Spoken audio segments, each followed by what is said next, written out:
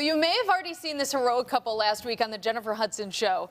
Al and Vivian Robinson, both pastors at the Spirit of Truth Urban Ministry, have made headlines for their heroic actions that ensured the safety of more than 150 lives during the Buffalo blizzard. Learning more about their amazing story, we are joined by Kimberly LaRussa from Sweet Buffalo and our local heroes here.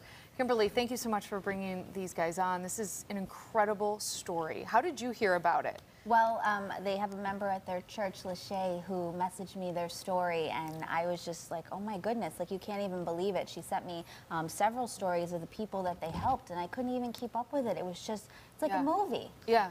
So, Al, uh, explain what happened Friday when that snow started coming down, and, and what did you realize?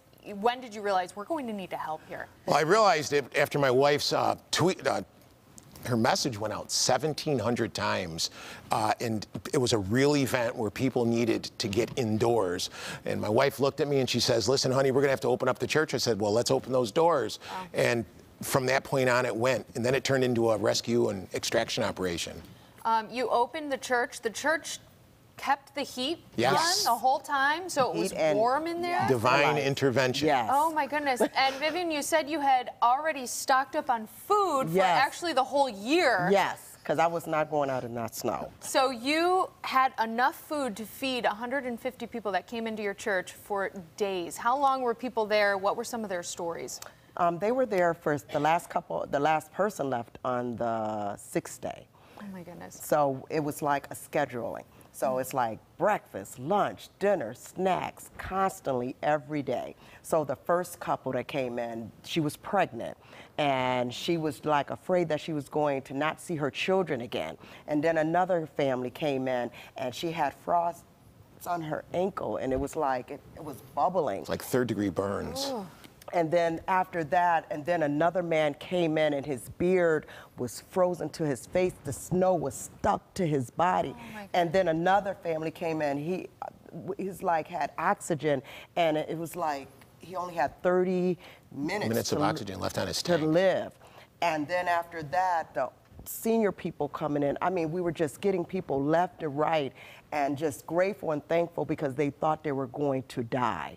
And I had to embrace them. I had to hold them. I had to um, make them feel that you're going to live today. And they cried, I cried, and I found blankets, warmers, everything to make sure these people were comfortable and felt like they were at home. And the tears, the tears, it just kept flowing. True heroes in this community. Oh my goodness, you saved so many lives. Um, Kimberly, they were honored on the Jennifer Hudson show. And what did we see them get honored with? It was, it was amazing. Yeah, so Jennifer Hudson gave them a surprise that they were not expecting. and you're very excited about that? Tell us. Absolutely. It looks like we got a six night, seven day stay at St. Lucia, all paid for from the flight from Buffalo to the flight back home. That is so cool. Yeah, God has been good to us. Wow. Yeah, super Well, excited. I heard her say you guys are probably cold and you're ready for a trip somewhere That's warm. right, yes. So that'll be nice. And you don't know when that trip will happen Not, quite not yet. Not yet. We have uh, some concerns at the church that uh, happened as a result Yeah. of the, the blizzard that we want to address before Okay. we go out and do things. And Al, you said you mentioned that you ended up doing some extractions. Yes. I heard you carried a woman two and a half Yes. blocks in that storm. I did. Tell Uh, me quickly about that.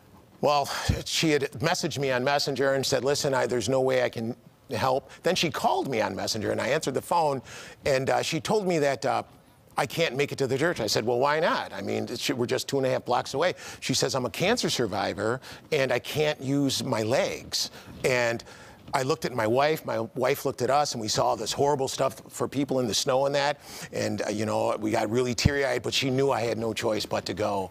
And so I, I, I left, and, and pulling your legs out of three feet of snow for that distance, it took me almost 45 minutes to walk two and a half blocks. But the lady's life was saved. She was brought to the church, and she, yeah, and she made it. So we were really excited, really excited for that. And has anyone come up to you, Leslie, afterward? You know, we're a, a, a month past from this almost. Has anyone come up to you to thank you? Absolutely. Oh, afterward? yes, we still have relationships. Yes. I go down the what street to visit. They call, they FaceTime. Good. We have built a family relationship, so we built more Beautiful. family. So It, it's w- it was the best Christmas ever that I've ever seen. The best Christmas miracle. We woke up with 154 people at our church, all celebrating the gift of life. Wow.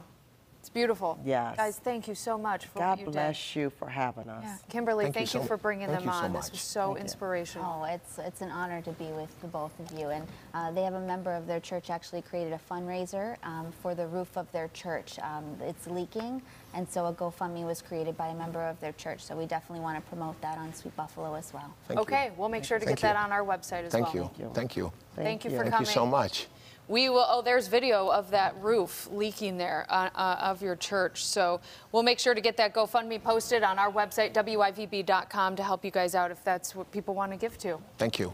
We want to help more people. Yeah. Yeah. Yeah. Absolutely. What is the name of the church one more time?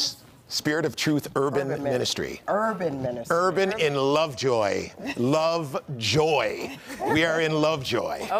Okay. Very good. Full of love and joy. That's right. Yes. Well, coming up, California trying to clean up while bracing for.